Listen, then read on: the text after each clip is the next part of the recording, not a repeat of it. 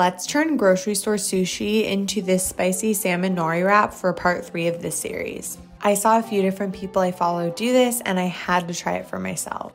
I just used what I had in my fridge, but I love that there are so many different ways you could get creative with it. I mixed my salmon with black garlic, sriracha, lime juice, and a little bit of Kewpie mayo. Then I did edamame, rice with furikake, and some avocado. Fold it up and enjoy with ponzu or your sauce of choice.